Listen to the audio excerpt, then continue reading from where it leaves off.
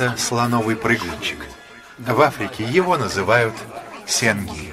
В этих тропинках скрыт секрет ее выживания. Эти беговые дорожки позволяют ей носиться по этим миниатюрным джунглям. Убежать от врагов. Или поймать еду. Все, что ей нужно, это скорость.